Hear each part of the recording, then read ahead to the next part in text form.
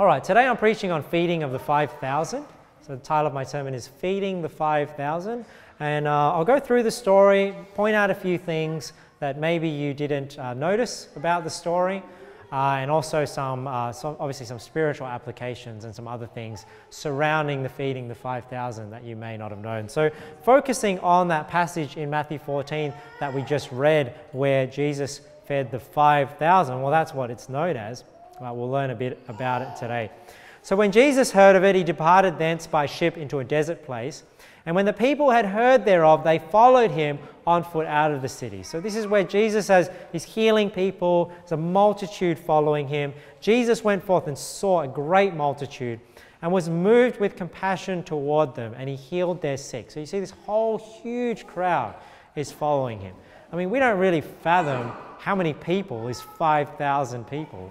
I mean, it's, this is a huge crowd. Um, I mean, if you think about when we went to the conference yesterday, I mean, maybe that was over 1,000, 1,500 people.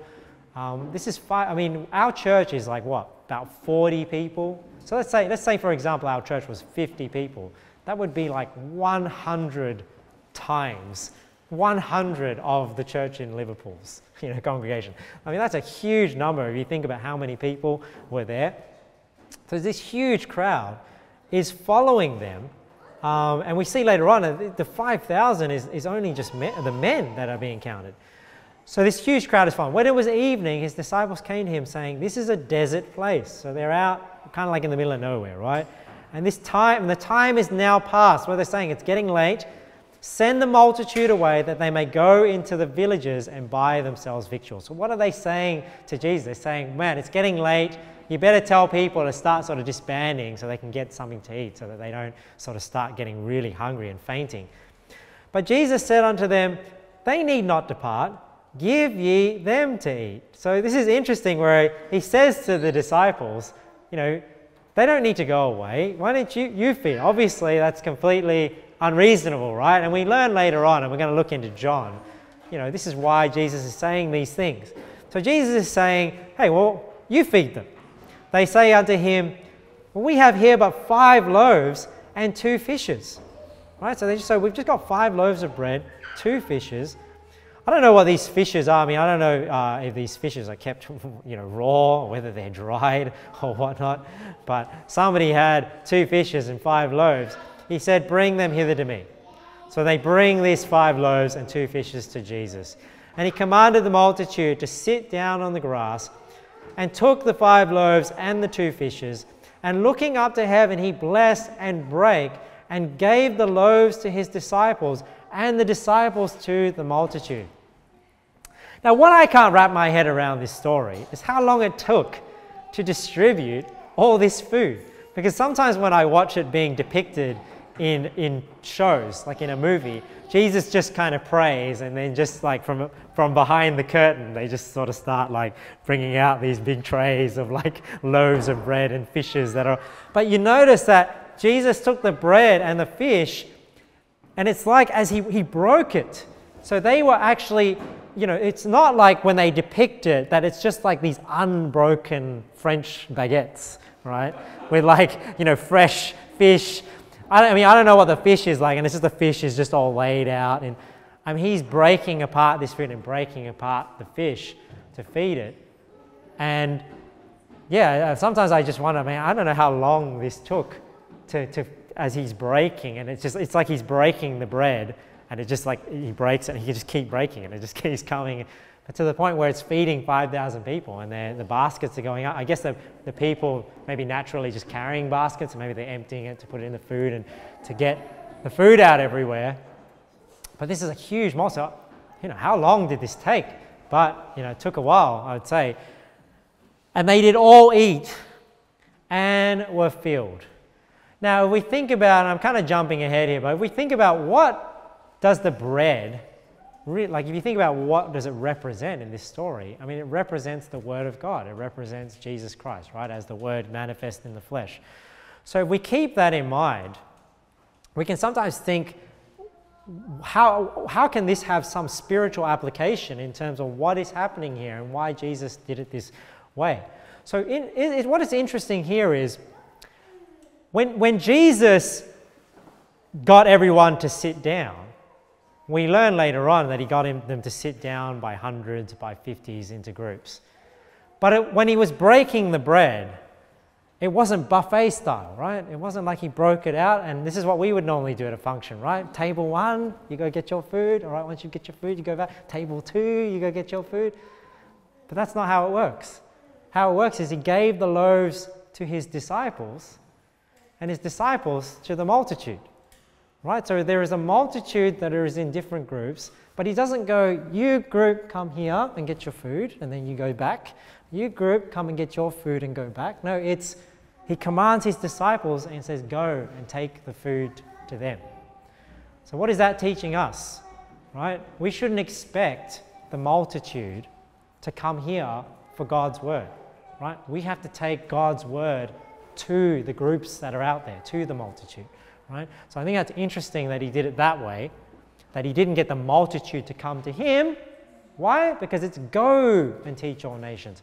Go ye into all the world and preach the gospel. Have your feet shod with the preparation of the gospel of peace. You're getting ready to go. And it's like here, the disciples are given the task to then go out and give God's word to the multitude, give the bread to the multitude. And look at this. And they did all eat. Right, so everyone that, you know, was there ate and were filled so this is where, you know, the analogy, obviously, because it's not just like everyone you bring the word to receives the word, right? But the people that did eat, right? Because the people that were willing to receive what you got out there, because, you know, were there people in the crowd maybe that just like, oh, I've got my own food. I don't need Jesus' food. That could represent people when you go and preach to them, they reject God's word, right? But the people here, obviously the story tells us, you know, everyone ate and they were all filled.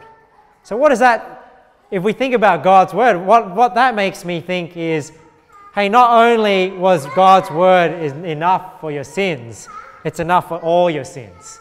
You know, so when God's word saves you, it's to me this is like sort of alluding this passage here is alluding to eternal security is that not it's not like the idea where only your sins in the past are forgiven and now you've got to do the rest or Jesus does his part and you've got to do your part. No, the bread that Jesus gave them was enough, not just for them to have some, but still be hungry. No, they all ate and they were all filled. So it was enough for everybody and it was completed. Right? And they took up of the fragments that remained 12 baskets full. So not only did everybody eat what they needed to eat to be satisfied, and be filled, there was food left over. And that's a sad truth, isn't it? That what Jesus did on the cross is enough to save everyone in the whole world. But unfortunately, not, it doesn't all get used in a sense. It doesn't get all applied to everyone. There is left over. But you see, the grace of God and the love of God is over and above what the world requires in order to be saved, right? But it, you know, it doesn't all get used up, unfortunately uh, in terms of spiritually. And they had, and they that had eaten, look at this, were about 5,000 men. So I don't know how familiar you guys are with this story. Beside women and children. So we think of the story as he fed the 5,000, but you know what? There are actually more than 5,000 there. The 5,000 that are being counted are the 5,000 men, but there were even more. Who knows how many? Right? Because let's say, you know, one man has his wife and a few kids. So it's not actually the feeding of the 5,000, it could be the feeding of the 10,000, the feeding of the 15,000. And this crowd is humongous if you think about it. So, amazing, amazing miracle that happens here. Um, so, some of the things you may not have noticed in that story. Now, let's look at the feeding of the 5,000 from John's perspective. And in John 6, we get a bit more insight into what's happening during the feeding of the 5,000, and we'll look at this in John 6. After these things, Jesus went over the Sea of Galilee, which is the Sea of Tiberias, and a great multitude followed him because they saw his miracles which he did on them that were diseased. Again, he's healing the people, so his story is lining up because it, it's the same account, right? And Jesus went up into a mountain, and there he sat with his disciples. And the Passover, a feast of the Jews, was nigh. when Jesus then lifted up his eyes and saw a great company come unto him, he saith unto Philip, Whence shall we buy bread that these may eat? So you remember how he says, Give ye them to eat. So same thing here. He's saying to Philip here, hey, from whence is from where? Where shall we buy bread that these may eat? So now, you know, so you're wondering why is he saying two different things? Well, because one he's saying to all his disciples. This one he, you can see he's saying directly unto Philip, right? So Philip is like, hey, where are we? Where are we going to buy bread that these may eat? Whereas maybe to somebody else in his group, he was saying, hey, why don't you go buy something to eat, right? And they're like, well, you know, 200 penny worth is not enough. Well, he, here he's saying it directly to Philip, and this is what Philip said. But look, we get insight into why Jesus said it. So, and this is why we need to understand when Jesus, and that's why you, you need to take always the Bible as a whole, because you can, you can take things Jesus says, even in the Gospels, out of context, right? And here we see Jesus is saying something, but he's not actually telling them to go and buy for 10, 15,000 people. In John, he tells us here, and this he said to prove him. For he himself knew what he would do. So Jesus knows he's about to feed everyone, but the reason why he's saying these things to his disciples, because he's trying to reveal their heart, right? He says, says these things to them to see what they're thinking, to prove him, to see what Philip was going to respond as. Look at what Philip says. Philip answered him 200 penny worth of bread is not sufficient for them, that every one of them may take a little. So you see here what's happening. Jesus is trying to get his disciples to realize, first of all, who he is, and that there's this, there's a, that it's like they don't realize who Jesus is, where, you know, they're, they're walking and talking with the Son of God.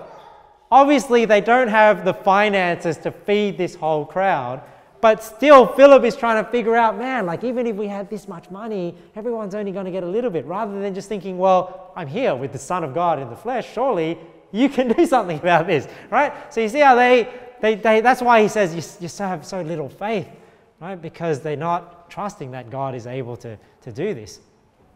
So he says to Philip says 200 penny worth of bread.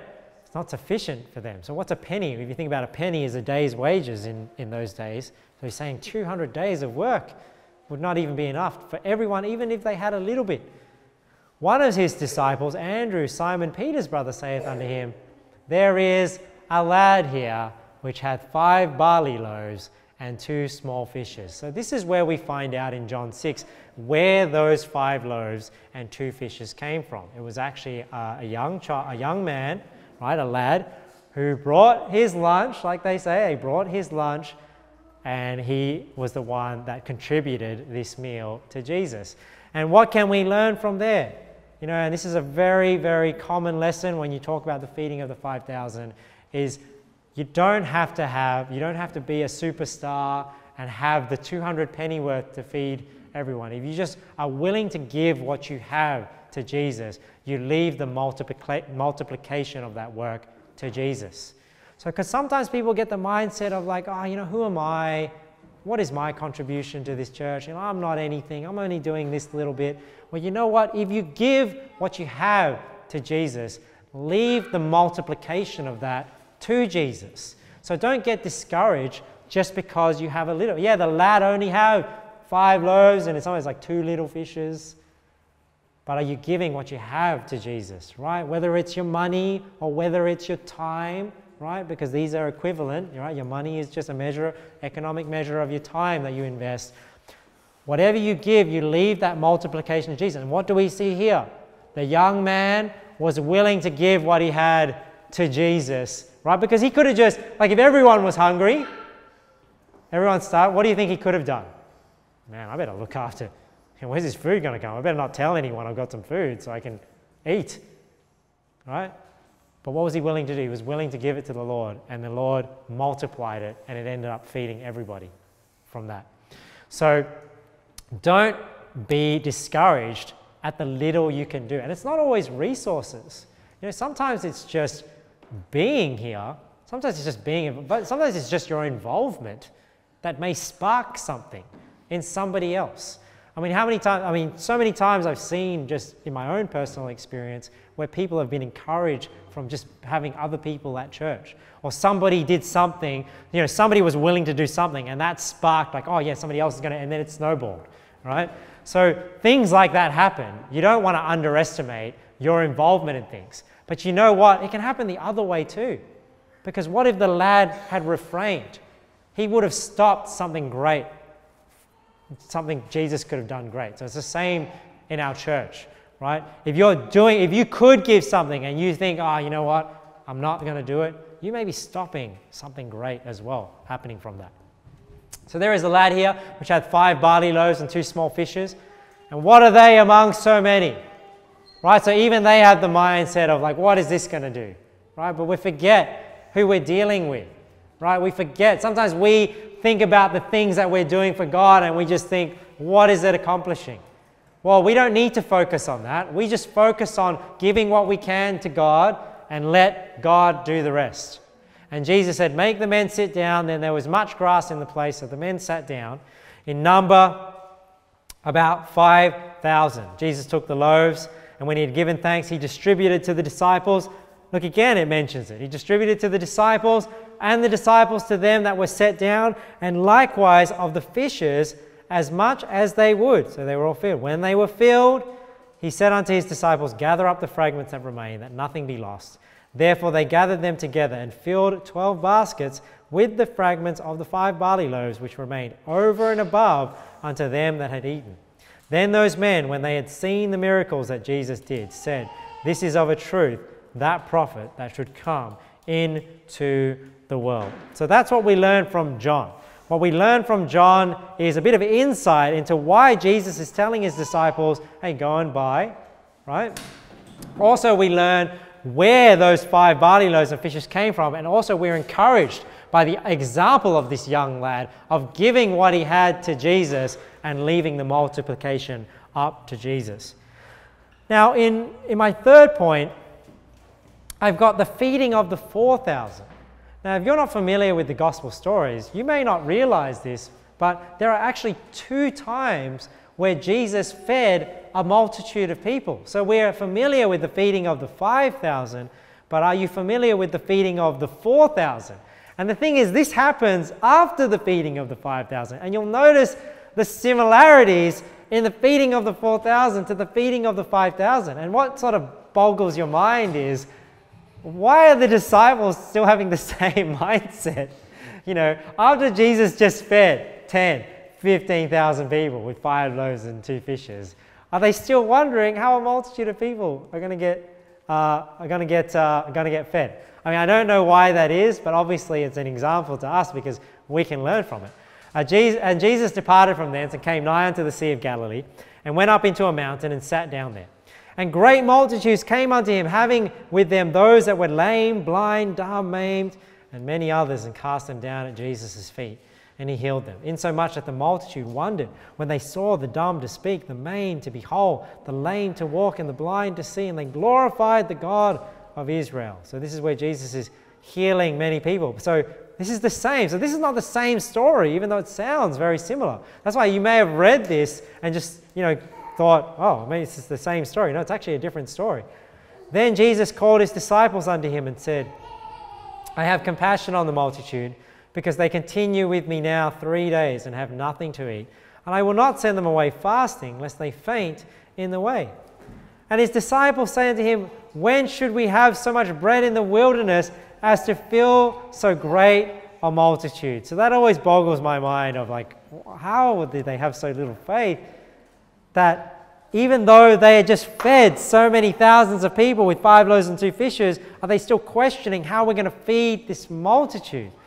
But I think the lesson here for us is in the same way we doubt God. You know, like we, like God may have delivered you from something in the past. God may have done something for you in the past, but yet when that hard trial comes again, you're back to like wondering, how am I going to get through this? You know, it's like I couldn't figure out how to buy all the bread for these people. Jesus got you through it. And then you come to the same scenario and you go back to thinking, how am I going to get through this? Right? And you think, well, isn't that a reminder for you to trust God again with the things that you can't control, the multiplication? But what's the direct application of this story, right? The direct application of this story really is salvation. And we'll see this later on. But even in terms of salvation, people get caught up in going back to earning God's grace and His love by works. How so? Because you know when you got saved, God paid for it all. You didn't earn His love. You don't, you don't, you don't uh, get saved and think, oh man, look how good I am that God loves me. You realize it was not of me, it was nothing I did, it was an unmerited favor where God extended His love to me and I got it undeservedly through faith. But then what happens? You live your life, you know, maybe you're going, you're living in sin, and you start thinking, oh man, God doesn't love me anymore. God, you know, is, you know, I've, I've lost my salvation. People start getting into that. I'm not living right. I don't deserve to go to heaven. I don't deserve God's love. God's, you know, God's forsaken me. That's kind of like us going back to trying to buy the bread. Because if you think about it, they're, they're, the disciples, they've been, they're, Jesus is testing them. This is the bread of life. If you think about the, the story that's been given, but they're thinking, how do I get this bread? How do I buy this bread? How do I earn this bread out of my own works to feed the multitude? So it's the same thing where they've already realized God's provided that bread of life, but when they come across it again, they're still thinking, how do I do this? How do I earn back God's love? Rather than realizing, no, God has already provided salvation, His love and His mercy. We are doing things in response to that. When should we have so much bread in the wilderness as to fill so great a multitude? Jesus said unto them, How many loaves have ye? And they said, Seven and a few little fishes. So you see how this is actually different now. It's not the five loaves and two fishes, it is seven and a few little fishes. And he commanded the multitude to sit down on the ground, and he took the seven loaves and the fishes and gave thanks and brake them and gave to his disciples and the disciples to the multitude. So even this time he does it the same way. Right? It's not that the multitude comes to him to get the bread and the fish the disciples are tasked to go and bring it to them. And they did all eat and were filled, and they took up of the broken meat that was left seven baskets full. And they that did eat were 4,000 men, beside women and children. So again, it's not even the feeding of the 4,000, it's actually the feeding of the 4,000 men plus women and children. Who knows how many people were there? 10,000, whatnot? Who knows? Um, so, with that in mind, I want to just talk, I want to talk through John 6. Because when we think about the meaning of the miracle, what is the lesson that is being taught here? Because oftentimes the feeding of the 4,000, the feeding of the 5,000 is used in regards to Jesus providing Christians things. Like, you know, because the people will say, and, you know, even, and it's not wrong to use that analogy in terms of, you know, you give, like I'm saying, you give what you can and God can multiply that. That's a perfectly valid um, application. But what is the direct teaching that Jesus is trying to teach through this miracle? It's actually a teaching about salvation. This is what he is teaching his disciples in terms of not focusing on the physical bread, but focusing on the teaching and of salvation. Now, in Matthew 16, this is where again, the disciples, for some reason, even though he's fed 5,000, he's fed 4,000, they get to a point where they don't have bread again, they're still thinking about, oh, like we don't have, we didn't prepare ourselves and actually bring some physical bread. In Matthew 16, so notice we've gone from 14, 15, 16. And when his disciples were come to the other side, they had forgotten to take in bread. Then Jesus said unto them, Take heed and beware of the leaven of the Pharisees and of the Sadducees. And they reasoned among themselves, saying, is it, it is because we have taken no bread. So you see how notice the disciples are so focused on the physical bread, they're completely missing the spiritual lesson that Jesus is trying to teach them through this miracle. Which when Jesus perceived, he said unto them, O ye of little faith, why reason ye among yourselves because ye have brought no bread? Do you not yet understand? Neither remember the five loaves of the five thousand and how many baskets he took up, neither the seven loaves of the four thousand and how many baskets he took up. How is it that ye do not understand that I spake it not to you concerning bread, that ye should beware of the leaven of the Pharisees and of the Sadducees? Then understood they how that he bade them not beware of the leaven of bread, leaven of bread, but of the doctrine of the Pharisees and of the Sadducees. So this is when they realize, you see how they're so focused on what is Jesus trying to teach us about this physical bread that they're completely missing the spiritual lesson, right? The spiritual lesson is about how God provides the bread of life for salvation. And then they realize, ah, this is why he's telling us beware of the leaven of the Pharisees. He's not saying because it's, it's like, is our bread going to be corrupted by some yeast that they've like put into our bread? You know? And they're like, ah, oh, so the bread represents a doctrine, something that he's teaching us spiritually. And what are we bewaring of? Bewaring of the, the leaven, the false teaching creeping into that doctrine. So, what is it? What is that representing? We have to beware of false gospels. We have to beware of work salvation. That is the leaven of the Pharisees and the Sadducees, trying to justify themselves. And that's what happens in churches. You know, churches that believe salvation by grace, but this whole you need to repent of your sins to be saved, biblical repentance, and they just start by, oh, you know, if you're saved, you'll live right, there will be change. That's the leaven that starts creeping in. And then that gets preached and preached and preached and preached. And then you start talking to people in that church and they just full blown believe work salvation. Why? Because it's that leaven multiplies and grows and gets spread if we're not aware of it. That's why when people we talk about salvation, it's like, oh, why are you so nitpicky about what people say and how people phrase salvation? Why, why do I, why do, why does it like annoy me when people say to get saved, make Jesus the Lord, your Lord and Savior?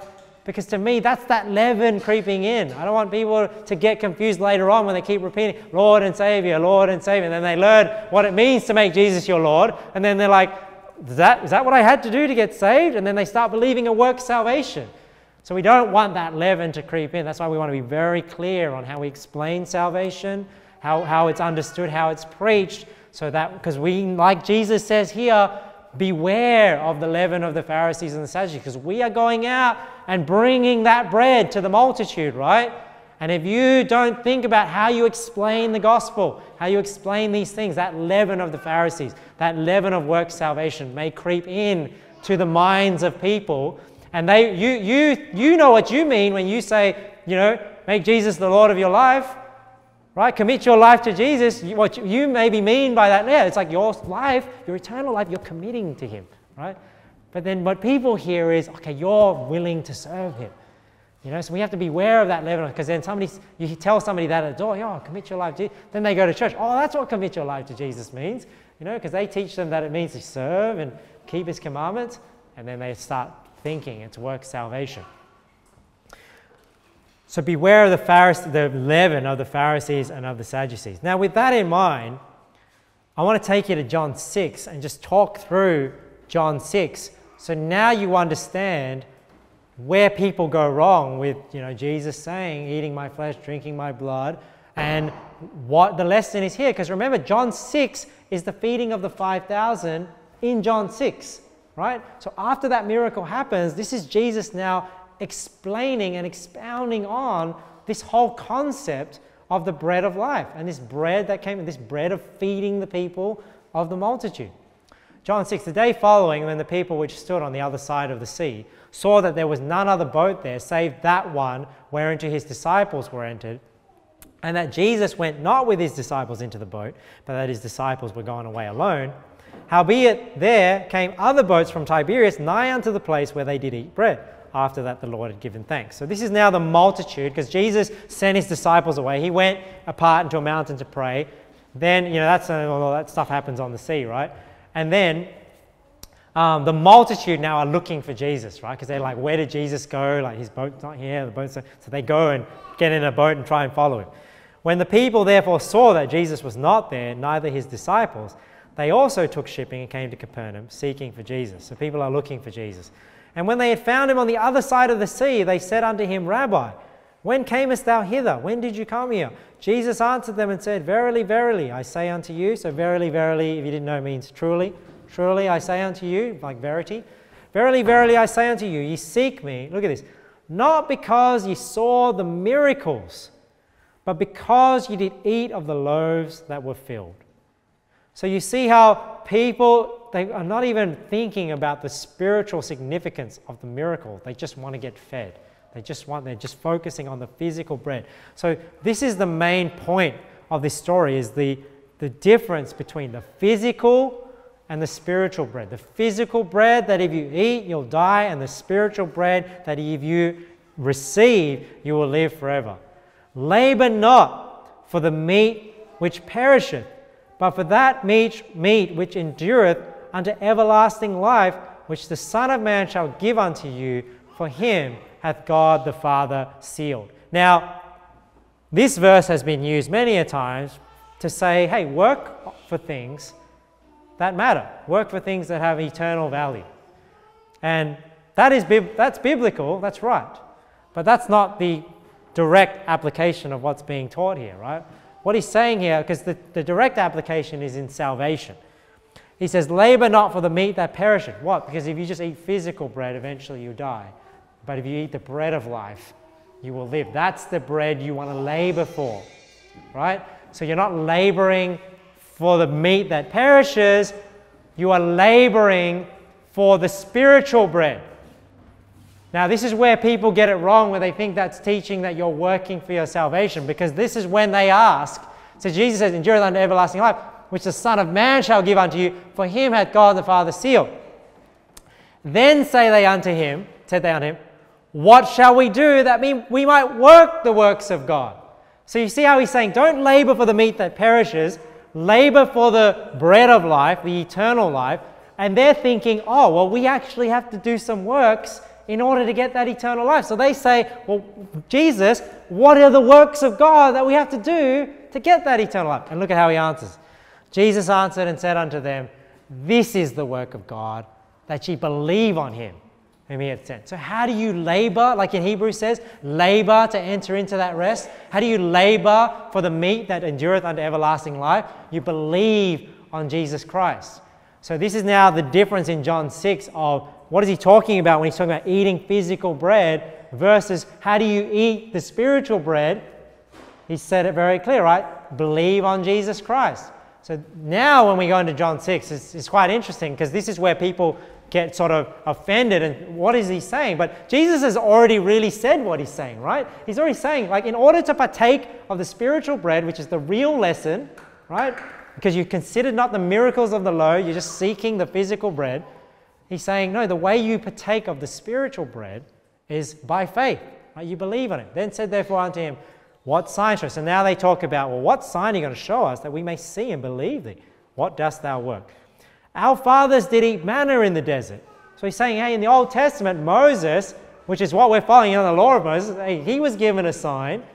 Our fathers did eat manna in the, in the desert.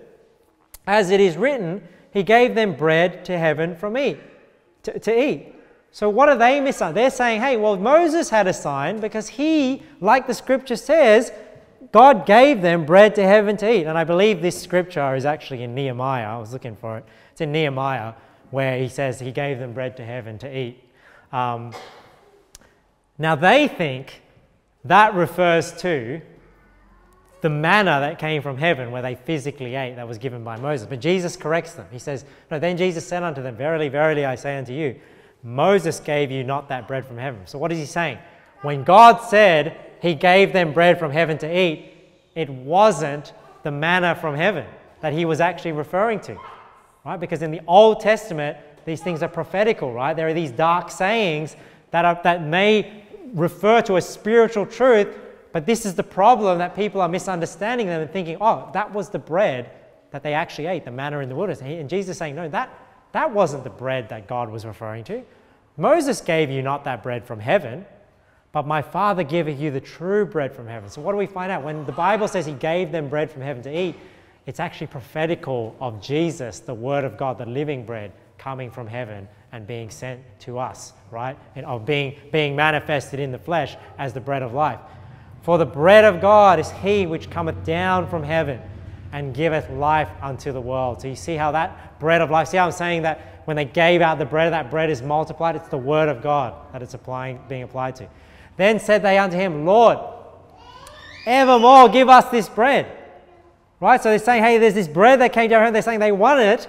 And Jesus said unto them, I am the bread of life. So you see how Jesus is not being unclear about how this bread of life is when he goes through John 6, right? Later on, when he talks about eating his flesh and drinking his blood, he's already explained this to them. He that cometh to me shall never hunger.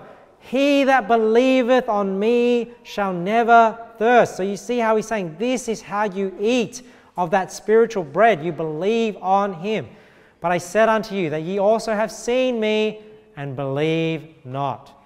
All that the Father giveth me shall come to me, and him that cometh to me I will no wise cast out. So that is eternal security there. For I came down from heaven, not to do mine own will, but the will of him that sent me. And this is the Father's will, which he hath sent me, that of all which he hath given me I should, ra- I should lose nothing, but should raise it up again at the last day. And this is the will of him that sent me, that every one which seeth the Son and believeth on him may have everlasting life, and I will raise him up at the last day. So, this is now you can put into context when it says, Hey, not everyone that saith to me, Lord, Lord, shall enter into the kingdom of heaven, but he that doeth the will of my Father which is in heaven. So, what is the will of the Father in order to enter into the kingdom of heaven? To believe on him, right? That you may have everlasting life. I will raise him up at the last day. The Jews then murmured at him because he said, I am the bread which came down from heaven. So they're like wondering, like, how is this man the bread that came down from heaven? What they don't understand is Jesus is the Word of God manifested in the flesh. And they said, Is not this Jesus, the son of Joseph, Joseph, whose father and mother we know? So you see how they was Joseph Jesus' physical father? No. So you see, this is where they don't realize who Jesus is. How is it then that he saith, I came down from heaven? Jesus therefore answered and said unto them, Murmur not among yourselves. No man can come to me except the Father which has sent me draw him, and I will raise him up at the last day. It is written in the prophets, and they shall be taught, all taught of God. Every man, therefore, that hath heard and hath learned of the Father cometh unto me. Not that any man hath seen the Father, save he which is of God, he hath seen the Father. So Jesus is explaining some spiritual truths there that are quite deep. So we'll just skip over those for the sake of time. Verily, verily, I say unto you, he that believeth on me hath everlasting life. So again, you see how he's reiterating this. You believe on him to get that bread of life. I am that bread of life. Your fathers did eat manna in the wilderness and are dead. This is the bread which cometh down from heaven, that a man may eat thereof and not die. So you see there again the comparison between the physical and the spiritual. I am the living bread which came down from heaven. If any man eat of this bread, he shall live forever. Now, notice here how he's comparing the physical and the spiritual, because that's why they keep thinking back to the physical. But we know that this passage is always used by people that believe in transubstantiation, which is when they when they eat of the bread and the cup, they actually believe it physically turns into Jesus' body and Jesus' blood. Uh, and they think, well, that's why you have to eat of it in order to, you know, receive the sacraments and receive the grace, and you have to do this in order to earn your salvation. Well, this I remember raising this once with, with somebody that was trying to tell me about that. Is you know it says here in verse 51, it says, I am the living bread which came down from heaven. If any man eat of this bread, he shall live forever. So the question is, if if eating physically of that bread is eating physically of Jesus' body and drinking of his physical blood, why do you have to keep doing it? Because if I've eaten of it, I no longer will die. Right? And the bread that I will give is my flesh, which I will give for the life of the world. So even if they believed that that was a physical body and blood of Jesus, technically they would, should believe that you'd only have to do it once and you'd be saved forever. Right? Because once you partake of that bread and that cup, but they don't believe that, right? Because they believe you have to keep taking it in order to stay saved. But we know, well, how do you get this bread that's going to make you live forever. Obviously, if you just eat something physical, you still die physically. So that's why it's a spiritual truth that you believe on Him and you have everlasting life spiritually. One day we'll be given a new body. The Jews therefore strove among themselves, saying, How can this man give us his flesh to eat? So you see how they are still confused. They're still thinking, I have to eat something physically as opposed to believing on him and getting that spiritual bread. The Jews therefore strove among themselves, saying, How can this man give us his flesh to eat? And this is where Jesus, knowing what they're thinking, now he's just saying things to kind of trip them up, right? So this is why, you know, this is how Jesus operates, right? Because he already saying things to his disciples just to prove them, to see what they think. So then he says, Jesus said unto them, Verily, verily, I say unto you. So now he's just plainly stating something in, a, in an analogous way, right? Just like he's saying to his disciples, well, go and buy for them to eat knowing what he's going to do. except you eat the flesh of the Son of Man and drink his blood, you have no life in you. Now, in the context of this passage, has Jesus at any time before this told them to eat of something physical? No, he's, he's comparing the physical bread with the spiritual bread. So here, of course, he's not saying, I want you to literally eat my flesh and drink my blood. Except you eat the flesh of the Son of Man, drink his blood, you have no life in you. Whosoever eateth my flesh and drinketh my blood hath eternal life, and I will raise him up at the last day. For my flesh is meat indeed, and my blood is drink indeed. He that eateth my flesh and drinketh my blood dwelleth in me, and I in him. As the living Father hath sent me, and I live by the Father, so he that eateth me, even he shall live by me. This is that bread which came down from heaven, not as your fathers did eat manna and are dead. He that eateth of this bread shall live forever. So again, I ask the Catholic and the Orthodox, why, when you eat the bread, must you keep eating it? Right? So it's not obviously not what Jesus is teaching, because if, I, if that truly was what he was saying, about transubstantiation. You'd only have to eat it once. So there is something spiritual behind here where we do something once. What do we do to get eternal life? We put our faith in Jesus Christ. These things said he in the synagogue as he taught Capernaum. Many, therefore, of his disciples, when they had heard this, said, This is a hard saying.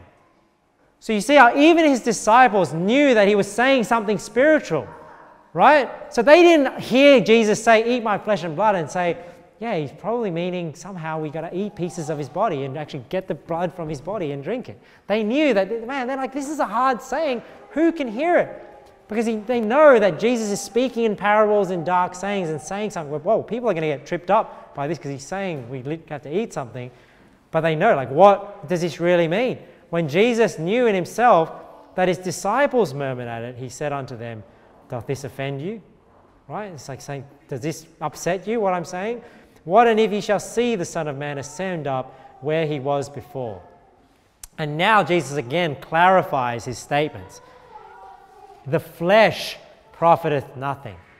So when he's saying you eat of my flesh, if you actually literally take that as his bodily flesh, it's going to profit you nothing.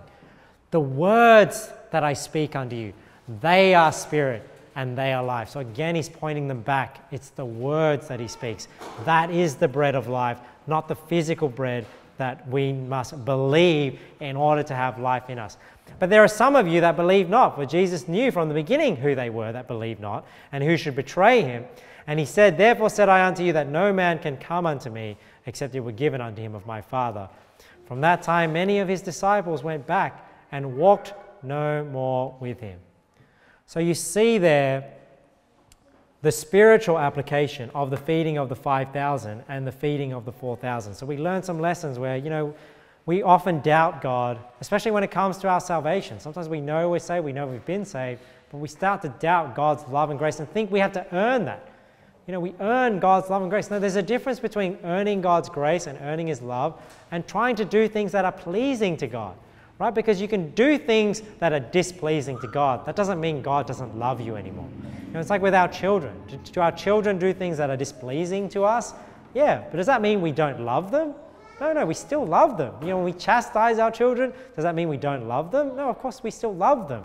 So when we start getting into the mindset of I'm being chastised because God no longer loves me, and you start getting back into the trying to buy the 200 penny worth of bread, that's how you get back into that mindset of trying to earn God's favor. We understand that we have to bring out the gospel to people. We understand that that bread of life is spiritual, right? So we're not partaking of something physical in order to get life. We believe on Jesus. That's how we labor for that meat. And when you have that in mind, this is what Jesus is talking. Now, when you go through John 6, you realize that's what he's expounding on. And even when he gets to the hard saying that is often misused to teach transubstantiation, you realize no, he's actually just saying a hard saying. And the spiritual truth is you need to believe on the Lord Jesus Christ.